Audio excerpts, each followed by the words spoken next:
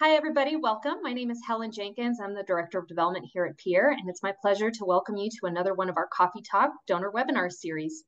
Our talk today will uh, feature uh, Dr. Christine Berg, who you'll meet later. Um, and uh, before we get started, I wanted to offer some quick guidance uh, for today's virtual event. Next slide, please. So first things first, um, please do keep your uh, camera off and stay on mute during uh, Dr. Berg's presentation. For the best viewing results, uh, we recommend that during the presentation, you select speaker view at the top or side of your screen if you have a tablet. Once the presentation is over, you can select gallery view to see all of your fellow attendees and you can join the conversation. After the presentation, you're welcome to turn on your video. Next slide.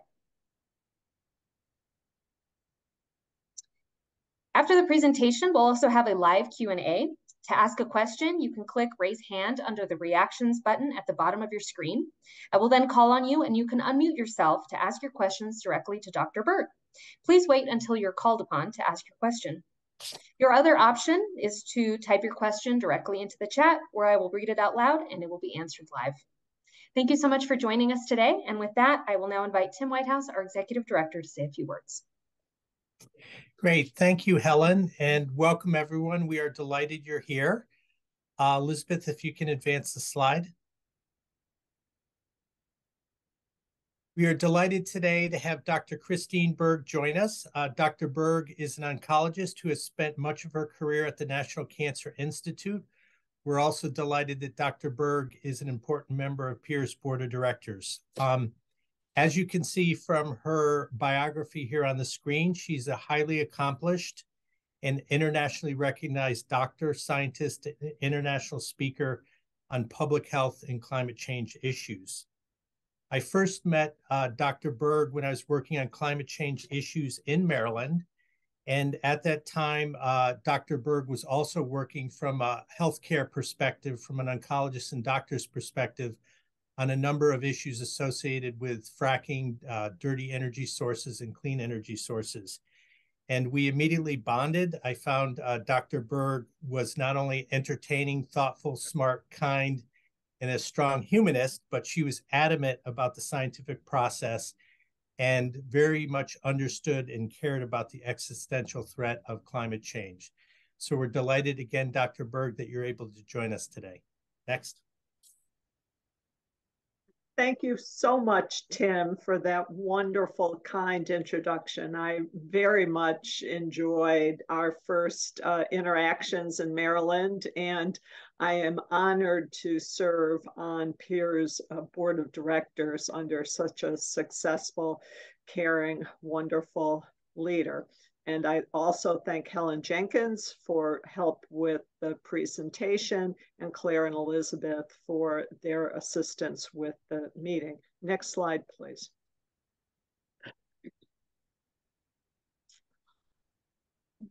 PEER, as I am sure many of you are aware, does very, very important work protecting federal employees as and state employees as they are carrying out activities to help our environment, our biodiversity, our lands, and also climate change.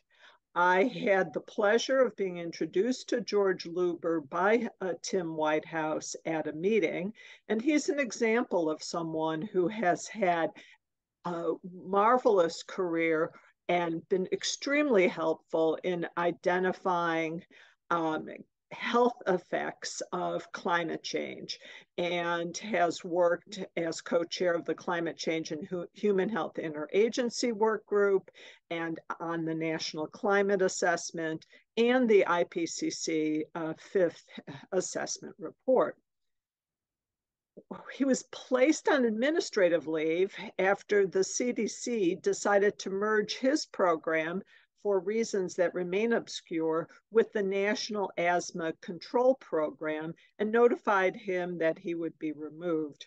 Reporters for the New York Times, supported by PEER, questioned this, reported on it, and the proposed termination was withdrawn.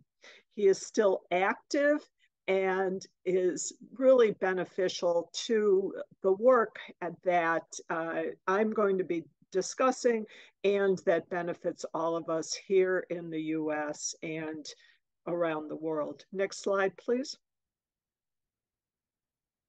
This graphic is actually prepared by the Centers for Disease Control. And in my opinion, does an excellent job visualizing the problems that climate change is having. We are seeing more extreme weather, rising temperatures, rising sea levels, um, rising CO2 levels, and all of these interact to have impacts on weather, air pollution, vectors, which are things like mosquitoes that bite us, increasing allergens. If I sneeze during this, it's because we're already in allergy season here where I am and outside of Washington, D.C. Water impacts, environmental degradation, and extreme heat. It's hard to analyze these things even individually, and their combined impact is mounting. Next slide, please.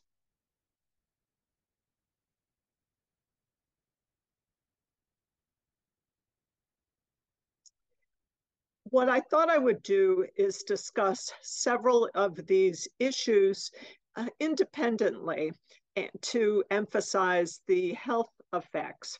And I thought I would start with air quality and air pollution. Air pollution, as you can be seen here with the exhaust from these cars and from our many power plants still, is associated with particulate matter, soot, uh, nitrous oxide, sulfates, and a number of other pollutants. And it also is a major source of our greenhouse gas emissions, CO2 and methane wildfires are becoming increasingly more frequent and severe. They are now frequently involving residential areas. So it's not just the trees that are burning, but cars, buildings, insulation, etc. And the particulates in this wildfire smoke are also hazardous to our health.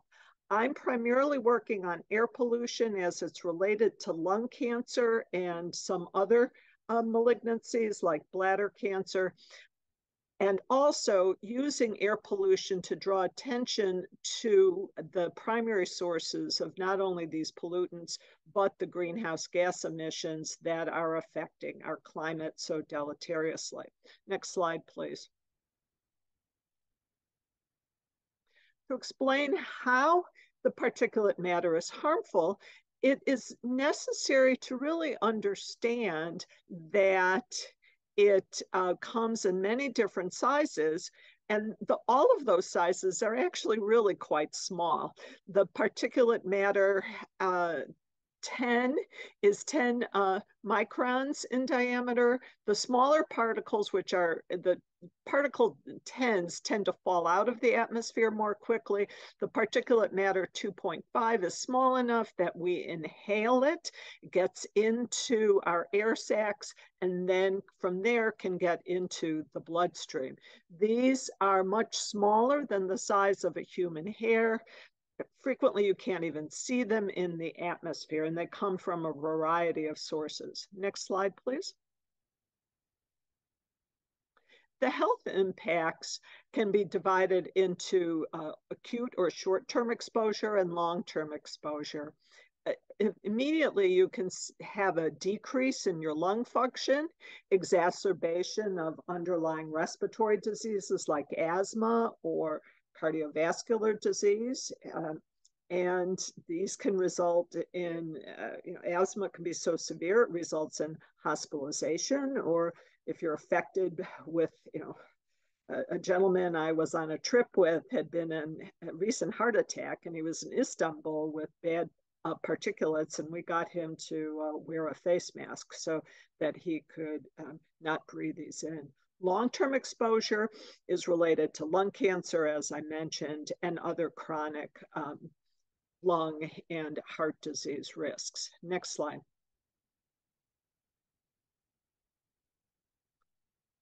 Climate change can affect exposure to these particulates with increasing emissions. We, you know, to cope with the hot air, we need more air conditioning, and that increases our demand uh, from our power plants. And worrisomely, there are increasing natural sources of air pollution. I showed the wildfire smoke, which can be induced by drought and heat, and dust storms in the, particularly in the drought-stricken uh, Southwest in the U.S. are a problem. You may have read about the drying out of the Great Salt Lake. As it is a basin and no water, all the water comes in and evaporates gradually, but the particles at the bottom in the sandy soil have gotten pollutants, heavy metals, toxins from all of the surrounding agricultural lands and industrial lands and residential lands. And those particles, now that they're exposed to the air, can be picked up in the, a, a dust storm and can be harmful. Next slide. A lot of research has been done on the respiratory and heart attack problems associated with air pollution, and there's increasing attention to other uh, diseases.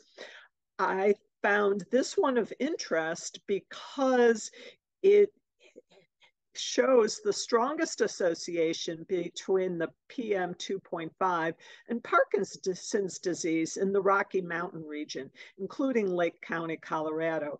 PEER does activities along the Front Range in Colorado as there are there's a lot of mining there, oil and natural gas extraction. And a lot of people think of our, our great Rocky Mountain area as being, you know, pollutant free, but certain areas are not necessarily.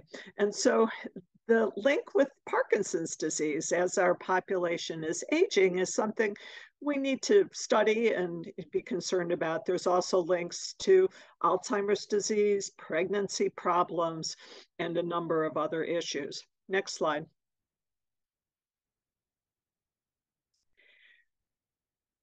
The United States has tried to improve their air quality standards, and this has been going on now for decades very successfully. The Clean Air Act and the Clean Water Act you know, started under the Republican Nixon administration and have been highly successful. There were amendments in 1990 that uh, brought uh, attention to these part um, pollution uh, effects sulfur dioxide nitrogen dioxide lead. We're getting we've gotten the lead out of our gasoline but it's still a, a problem. Um, particulate matter carbon monoxide and ozone which is generated at ground level related to heat and exhaust. This, I'm not referring to the ozone layer over Antarctica, which is a separate problem, which is fortunately actually a great example of how international collaboration can be making a difference. So we have in the US really worked to improve our air quality. Next slide, please. And this up until recently has really, really been highly successful. Uh, annual deaths have decreased by about 47%. There's a, been a decline in particulate matter. The decline was across the United States, but however, recently in the last five years, the decline has stopped in the West and it, given the severity of the um, wildfires, that uh, pollutant it, matter is now increasing. And in fact, a recent study showed that high population centers actually east of the Mississippi can also be affected by the winds that blow from the west and have increases in their particulate matter. And so this is a serious uh, issue. This is pre-pandemic. The one out of every 35 deaths in the United States are related to air pollution. And this equals all traffic accidents and all gun shootings combined. And so we need to pay continued attention to it. It was nice to see an article in the um, paper this morning that the EPA is working on cleaning up uh, polluting sources that the air then blows uh, to other states where they then have a problem meeting the Clean Air Act requirements so that this will help across the United States and it's useful for groups for peer to be following this kind of activity. Next slide, please. A recent uh, study from The Guardian looked at all of uh, the population centers in the United States and ranked um, them by air quality. You may be familiar with uh, how we measure um, PM 2.5. It's in uh, amounts per cubic meter. And the hotspots here in Bakersfield, California are the worst in the United States and they're at 16 micrograms per meter cubed. This is high for the United States. It doesn't compare at all with you know, Beijing, which can be up at 200, or Mumbai, which has recently been up at 300. So, yes, we have pockets of high air pollution, but uh, for the most part, we are making some progress. And in agricultural areas like Bakersfield, where there's also some oil and gas extraction, we need to continue to work on this. Next slide.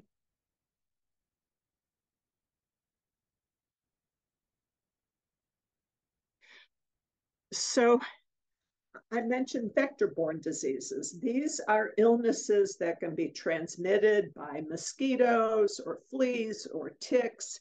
And with uh, the heat, increasing moisture, the ranges of these kinds of insects and vectors has increased. And according to the CDC, illnesses from these vectors have tripled in from 2004 to 2016, which is quite worrisome. Next slide, please. It's not just the heat, the climate change and variability, but land use and deforestation is a problem.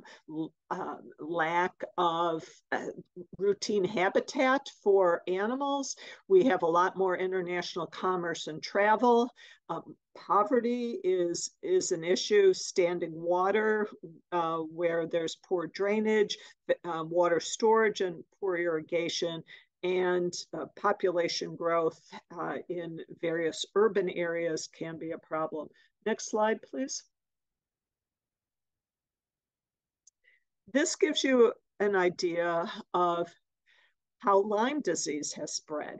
It wasn't too long ago that I had never even heard of it. You know, we first found out about it and was named for uh, Lyme Connecticut, where it was found to affect uh, deer ticks. And it spread in 1966. It was in this region in the Northeast and was beginning to spread further.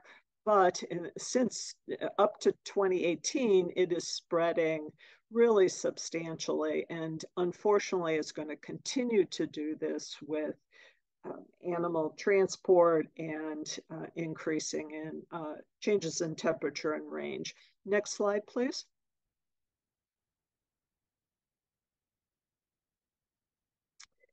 And even diseases that are not related to climate change, like COVID, there's still speculation as to exactly how that started. However, this interactive effect of a pandemic, along with the pre existing areas of um, particulate matter, you can see that where there is higher air pollution levels, the it turns out that there's an increased risk of uh, death from uh, COVID 19. This is deaths prior to the deployment of vaccines, but these interactive effects are, I find, quite concerning. Next slide, please.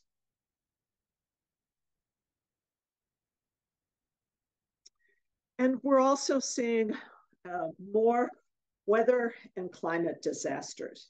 These are getting expensive and more frequent. In 2020, we had quite a number of billion dollar weather and climate disasters, hailstorms, um, drought and heat waves, fires, um, and flooding.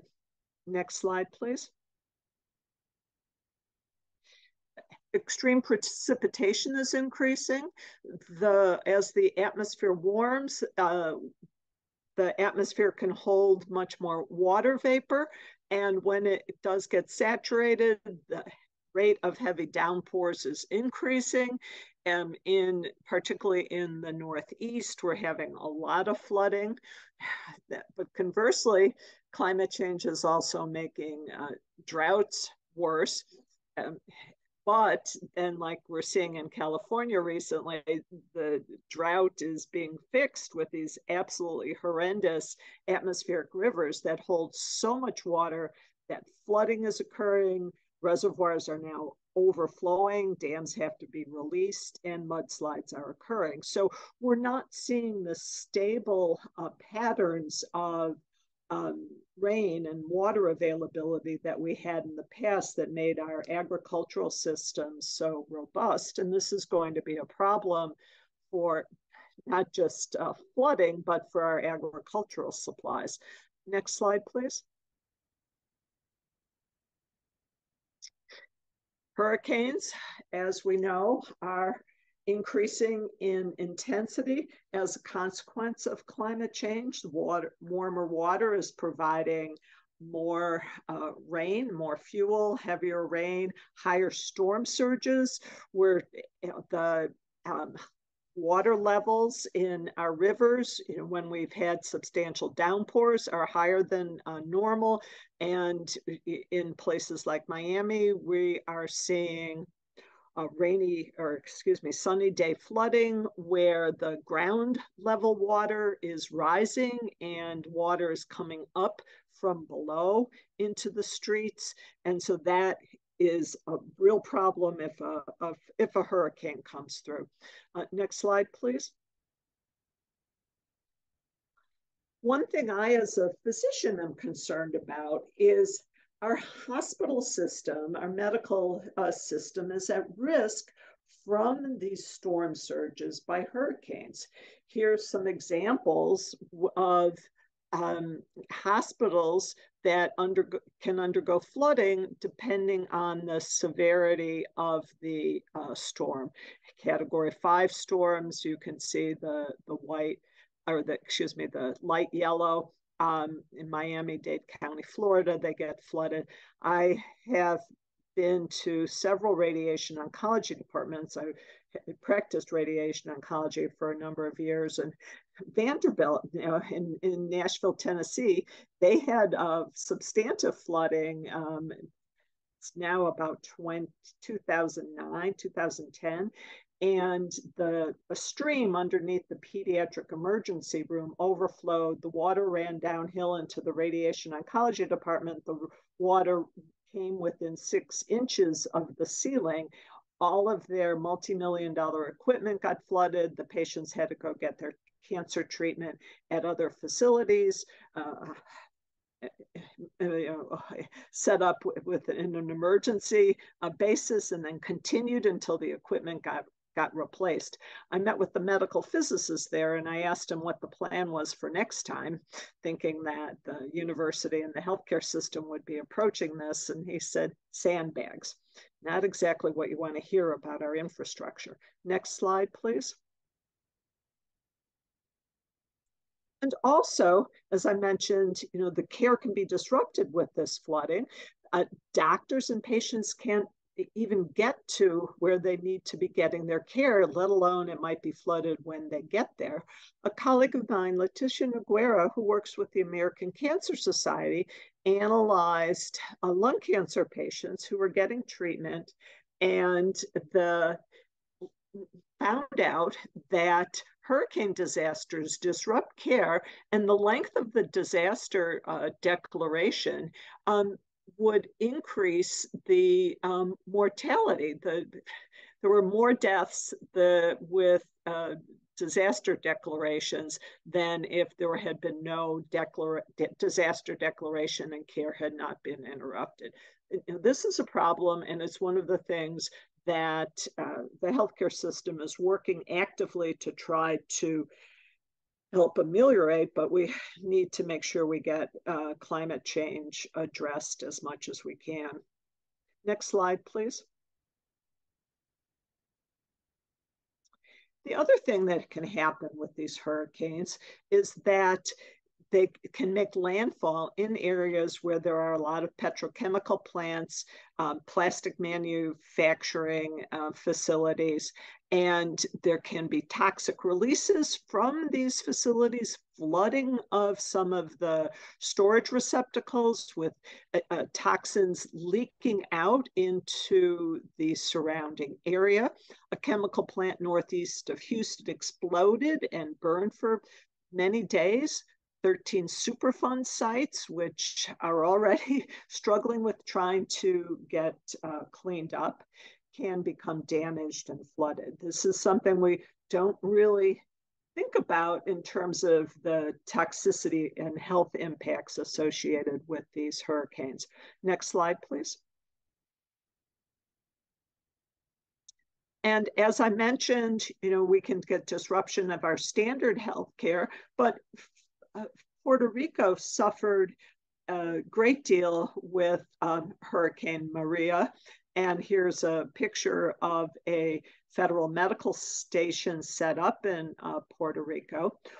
One thing that is not well um, known from the disaster in Puerto Rico was a shortage of the plastic um, containers that are used for intravenous um, drug administration and fluids. The many of the standard fluids are actually packaged in uh, Puerto Rico, and there was a severe shortage across the United States. And as I'm an oncologist, the chemotherapy um, courses were interrupted, and that is problematic as well and then the underlying chronic illnesses don't get adequate attention either. Next slide, please. So what can you do to protect your health? There are many apps that you can download onto your cell phone to monitor air quality. You need to make sure that as the when the summers are quite hot these days, that you stay well hydrated there were some people hiking in the Southwest recently, like last week, and there was a flash flood and one person drowned. And you need to pay attention to the um, weather reports. and I, uh, there's a city here in Maryland called Ellicott City that's been subject to two floods. Uh, I went to visit and was looking at the damage, and a guy who lived there came up, and I said, "Well, it, weren't there alarms? He said, Of course there were alarms, but we get alarms all the time. Nobody pays any attention to them. So he didn't pay any attention. We need to pay attention to these alarms and make sure we know where we should go and how we should do it. And um, flooding can lead to mold in your residence, which can increase allergies and other health, health problems. And we need to watch out for mosquito breeding areas, ticks after being outdoors, and protecting against uh, water contamination, we had to have the sewer lines in our neighborhood uh, fixed because of an EPA order, because eh, with the um, flooding, there was sewage contamination of our local stream. And so this, this needs to be, need, be monitored. Next slide, please. And what is good for your health can also be good for the climate. So we can all contribute to lowering air pollution and greenhouse gas emissions. We can walk and bike more, which will really help. Telecommute, this Zoom uh, conference is an excellent example of something that we didn't really do before the pandemic, and it really can help lower uh, emissions and time traveled.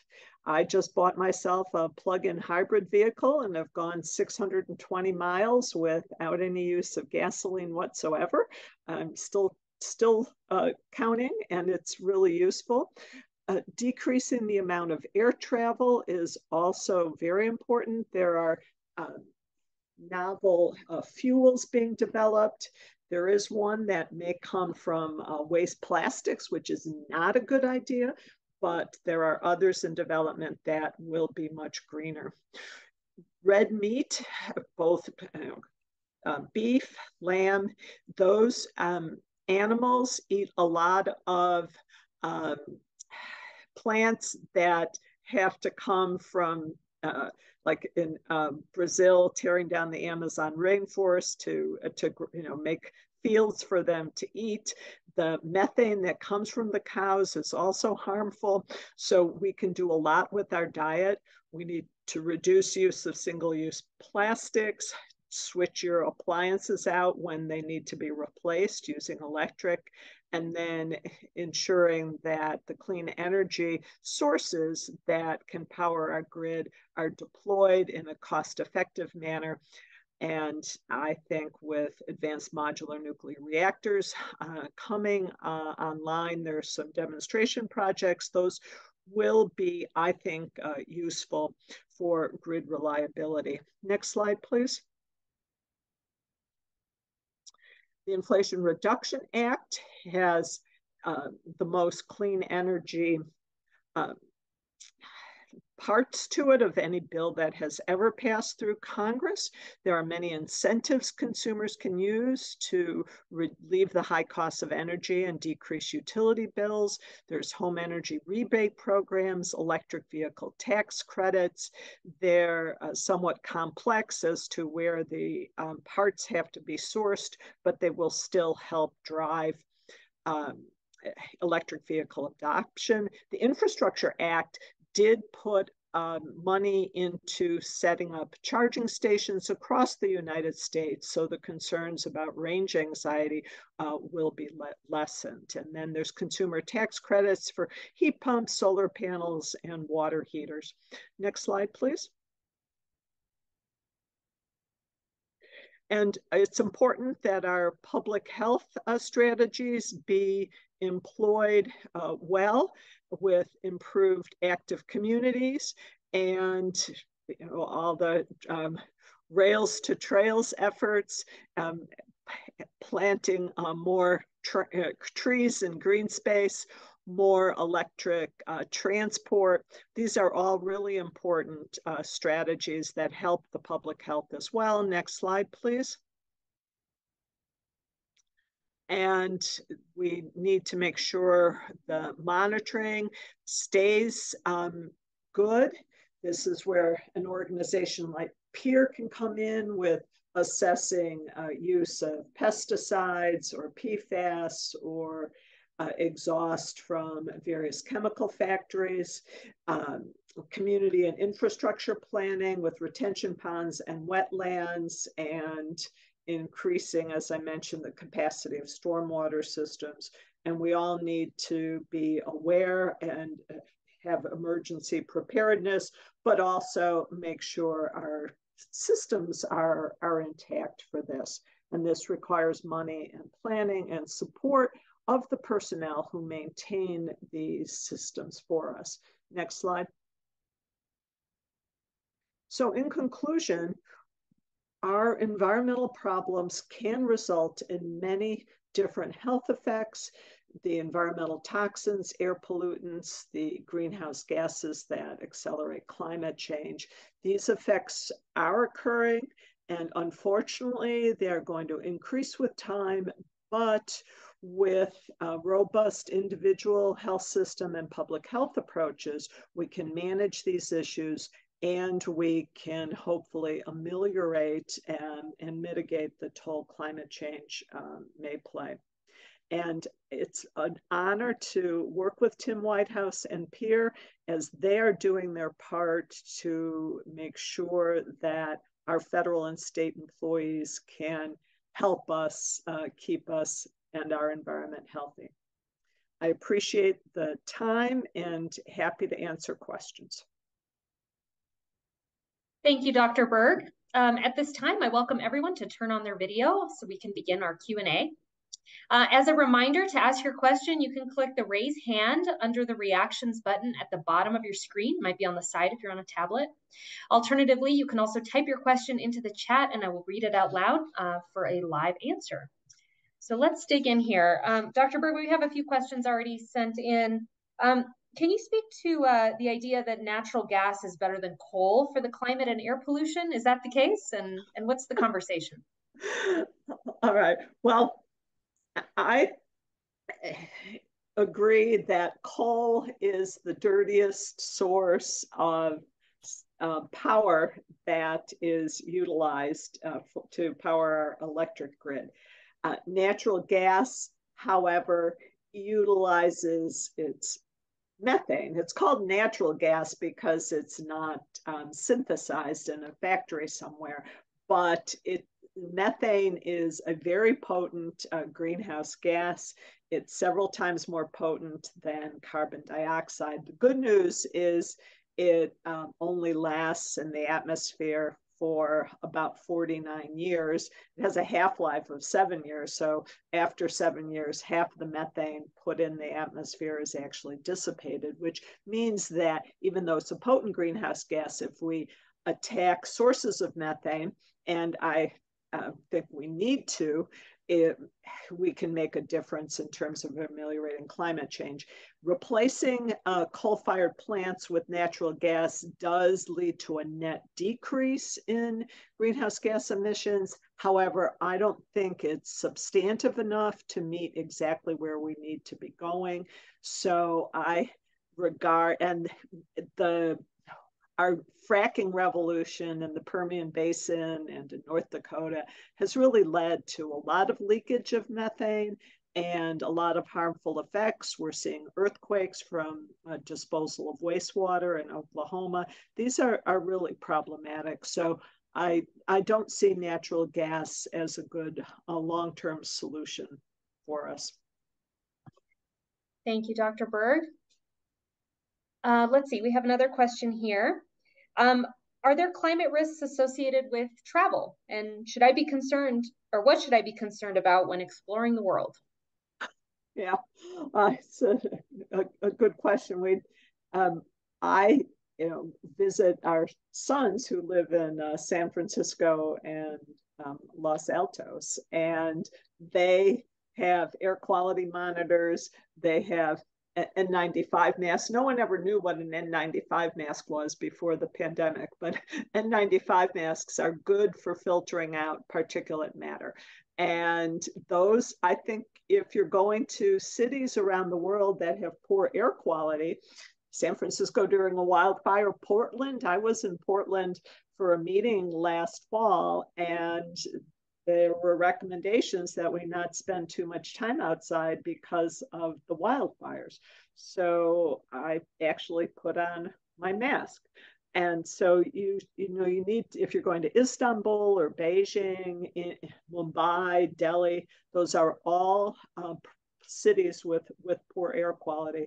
And then of course uh, flooding risks and water quality we already are aware of, but increasing um, antibiotic resistant bacteria, spread of, you know, we think vector spread here in the US is a problem, but it's even more of a problem elsewhere. So I, I do think if you do travel, eh, you should also make sure you offset your emissions, or some airlines are now having plant programs to purchase more environmentally friendly jet fuel.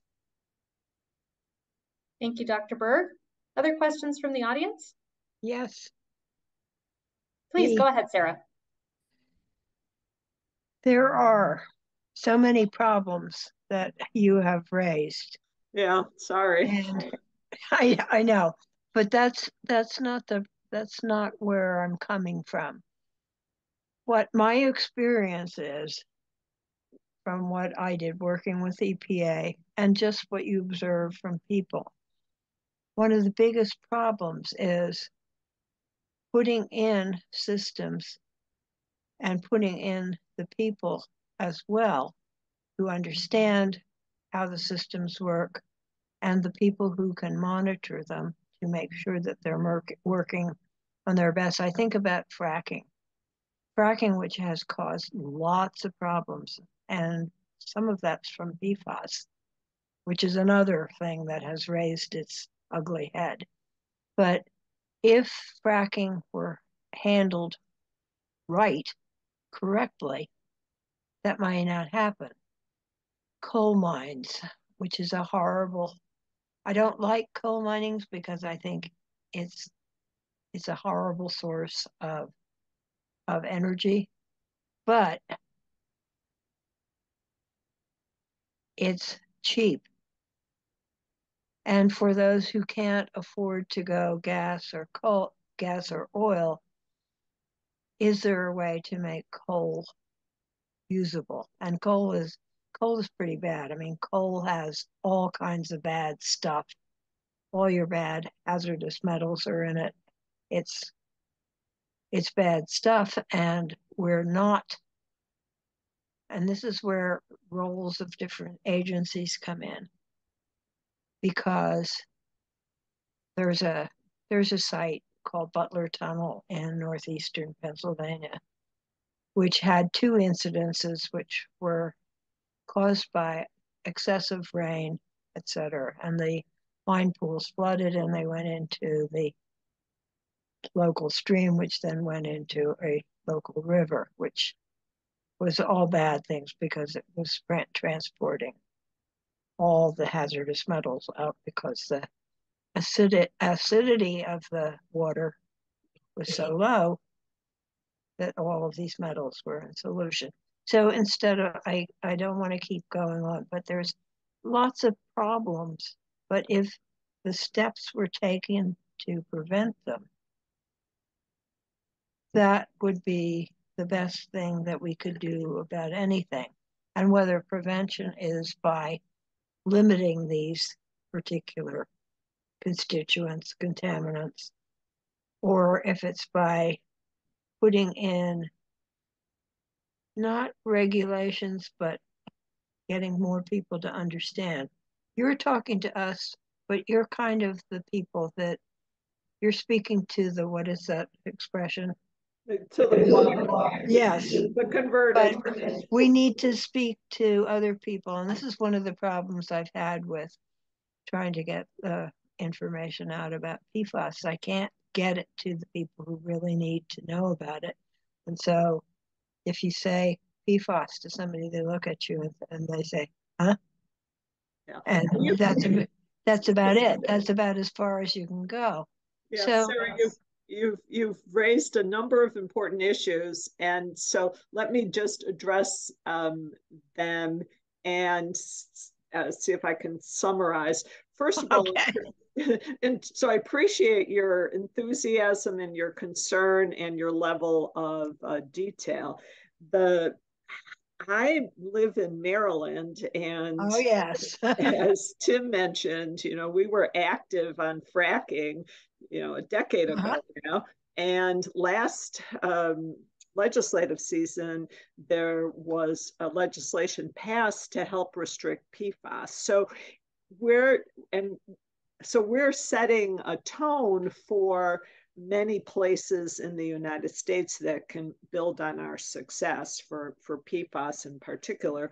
For um, renewable energy is now in many instances actually less expensive. Both solar and wind is less expensive than mm-hmm. coal, even maintaining coal plants. So the costs are no longer an objection for handling the hazard for existing coal plants. Um, further um, controls can be uh, put in place and you know, clearly like that flooding problem is a disaster and we need you know infrastructure yeah. improvements to avoid those things but i do think that even though we can ameliorate some of the hazards of coal i think it's going to be best over the long uh, term to phase it out with the less expensive and safer uh, renewables. We can also look at pulling CO2 out of the air. We can look at pulling yeah. CO2 out of, of the you know chimney exhaust from the, the power plants.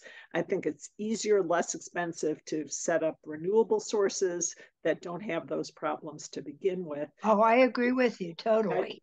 Totally. It's it's yeah. getting those things in place that is sometimes the problem.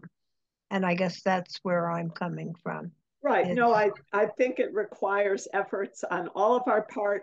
And I do try to talk to people who are not part of the converted. For example, for example, no, I think you, I'm sure you do too. I, I, again, and I appreciate you talking to us now because we can always learn, even if we are converted. Right, exactly. We might be able to sing better right. in our choirs. Yeah. Okay. Uh, Thank you, uh, Dr. Berg. Thank you, Sarah. We do have a question from Mara. Mara, feel free to unmute yourself and ask your question to Dr. Berg. Hi, thank you so much, Dr. Berg, for a wonderful presentation. Um, very informative and yet very scary. Um, I, I, think scary is where we need to be right now is scared. I have a question. I have a background having done years ago energy law um, and and some energy regulatory law and, and looked at that. But so I follow that closely. Solar. We talked about you know cheap sources. Solar is a it has a great future, but I'm curious as to the the downside. Well, two downsides. One is I've always seen is there's not enough investment in the grid because yes. people don't make money by investing in the grid. They make money by investing in production and transmission to some degree, like pipelines, but not the grid. So the grid has been in a bad sh shape for a long time. And see what happens in California. They tell everybody go solar, electric cars, but don't plug in your car because right now the grid can't support it. So it's a problem. Right. So I have two questions. One has to do with if you if you see any future investment in it's a big thing for infrastructure in the actual transmission grid, and the other is specifically for solar, as opposed to say something like wind. The the environmental degradation from the production of the panels and the equipment. Solar itself is great, but it's got a really ugly underbelly. And is anything really being done now to come up with a solution for that aspect of solar that you know of? I am not an energy expert. Thank you for working in energy law and regulation. It's it's so important.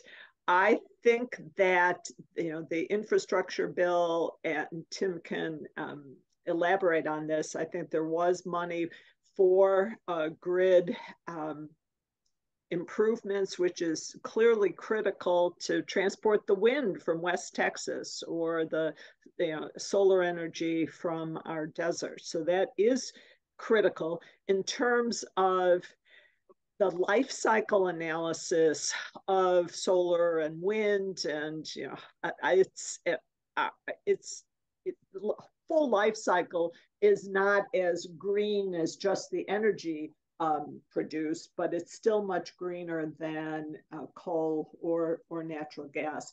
There are a lot of technological improvements. Um, there is, for battery storage, for example, there was a nice paper article. I read The Economist. There was a big article about how to make graphite, F, which are which is used in the anodes of the batteries, more environmentally sustainable and get good clean graphite. So there's a lot of um, technological improvement work going on. I my my I, I do give talks, but my best contribution to the environment was raising a uh, power systems and controls engineer who's working on renewable energy storage. And what they did in uh, California is set up a system for um, home uh, batteries that they installed these power walls. And it, when the grid's under stress the owners can be pinged to turn over some of their extra uh, power that's in their storage back to the grid. So they have this new system set up for the power wall um, users to to help support the grid. So there's technological improvements going on. Tim did you want to make any comments about yeah, I'll, I'll just say great questions. I know um, grid improvements uh, should be a national priority. They're slow improvements, but not fast enough. I know in our area, some of the solar tie-ins have been denied because of the grid isn't stable enough to absorb some of the um, clean energy applications. Um, my observation on solar and the life cycle is um, we can't forget about energy efficiency. So uh, even if we switch over to all solar and all wind, and we continue to consume more and more energy, uh, those that tr- important transition will be self-defeating. So uh, we always need to keep energy efficiency at the front, at the forefront of um, our efforts, because any energy system consumes uh, energy to create it and uh, uses resources. So um, life cycle solar and wind are much, much better than coal and natural gas, but we have to think about energy efficiency. Thank you, Tim. Thanks, Mara, for that great question. Uh, Dr. Berg, we have a question in the chat from Don Ferber, and he asks, with all we seem to know about toxins, toxics and pollutants, what are your thoughts on how much more we don't know? For instance, PFAS has only gained recent attention, and even that is limited with all the different varieties out there. And there is the matter too that we are exposed to too many different pollutants and we don't know the cumulative impacts. Your comments. Excellent uh, observation. And I think that it, you know, it, it's, it is unfortunate that we don't have as much data as we need some of the industry um, details are behind um, the uh, industry. Um, what's the term I'm searching for, Tim? Their trade secrets. Their, their ability to, you know, uh, their own um,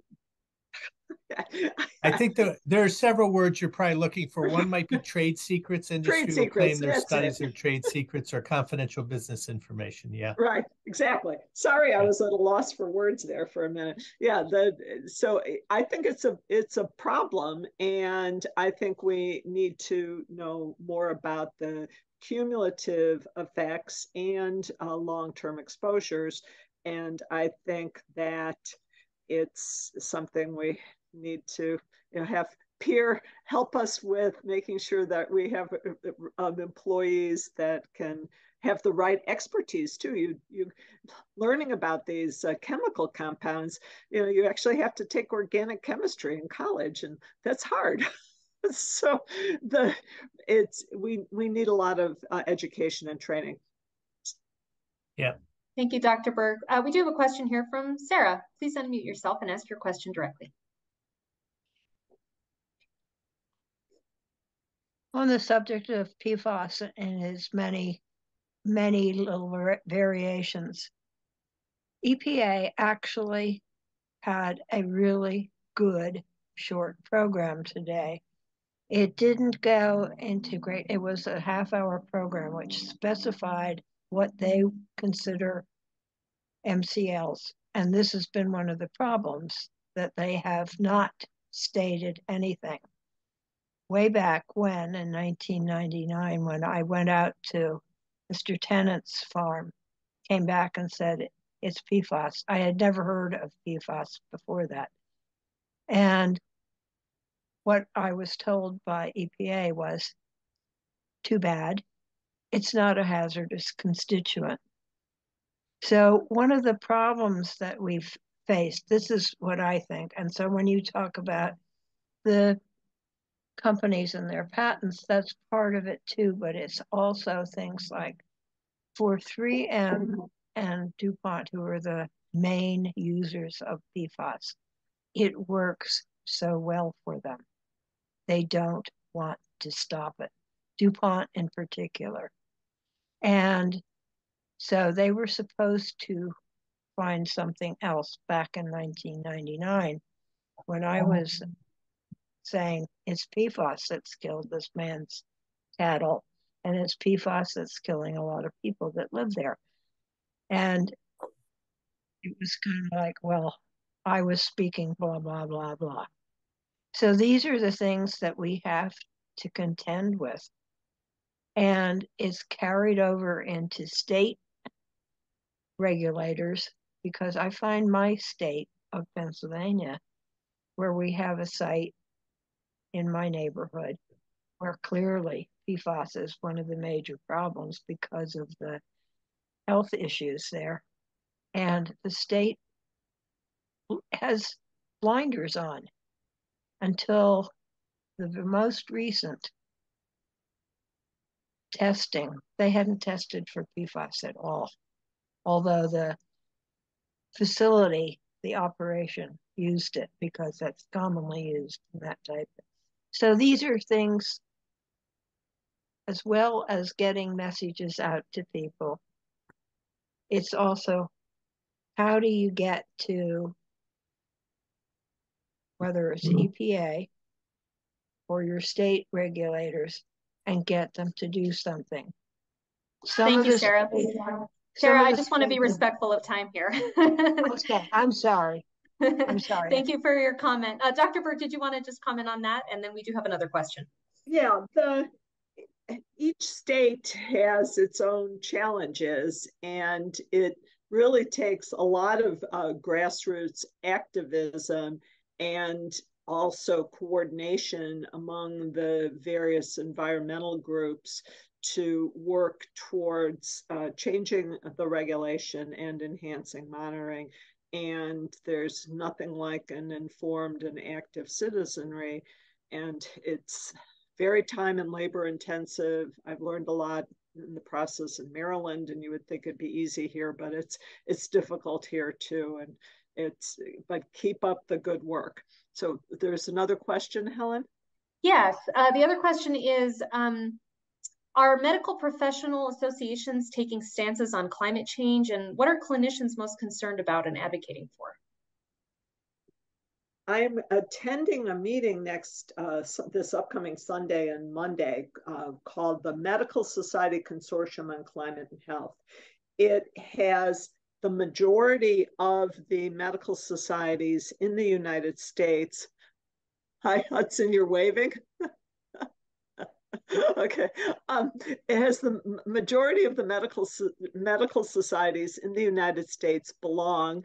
They have signed uh, documents explaining the issues regarding the health effects of climate. And many of these groups participate with an organization called Healthcare Without Harm. All healthcare should, you know, minimize our the harms, but there are many approaches that healthcare groups can take to lower their own uh, climate footprint. Healthcare makes up about 8% of all greenhouse gas emissions, much from pharmaceutical manufacturing and transport. And there are concerted efforts. Our American Society of Clinical Oncology is coming out with a policy statement on what they're going to be doing. So it's a, a growing movement, and I've been honored uh, to be a part of it. In terms of individual clinicians, it depends on the specialty. Allergens, the increasing allergy season, uh, spread of Lyme disease, awareness of all of these things, and making sure our patients are aware so they can take the appropriate uh, protective measures is critical. Thank you, Dr. Berg. Any other questions from the audience? Okay, Tim. Yeah, I wanted to uh, thank you, uh, Dr. Berg, for speaking to us today uh, for a very insightful and meaningful discussion. I did also want to go back to something Sarah Casper said that I think many people on this uh, webinar may have missed. Uh, she mentioned Dr. Uh, Mr. Tennant in West Virginia.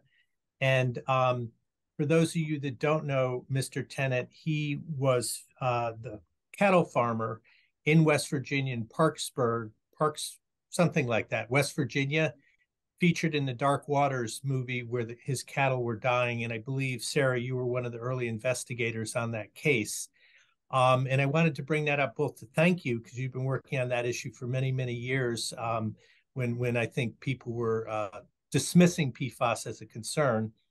Um, but also to highlight that we're involved, whether it's climate change or PFAS or loss of biodiversity, these are real generational struggles. You know these are things that take you know years and years to address and decades to address and looking at some of the names of the people i'm familiar with on the call i know so many of you are involved in these struggles and just want to thank you thank you all um, for your work and um, to thank the PEER team and uh, you know we'll keep fighting um, i think the public health angle is is so crucial and uh, public health professionals doctors um, are a key part of the education of all of us about the impacts of climate change and chemicals and the loss of biodiversity. So again, thank you, Dr. Berg, for joining us. Thank you for having that, me. Appreciate your attention. Thank you all. With that, we will close the meeting. If you have further questions, please feel free to contact us directly. Have a good one, everybody. All right. Bye. Bye.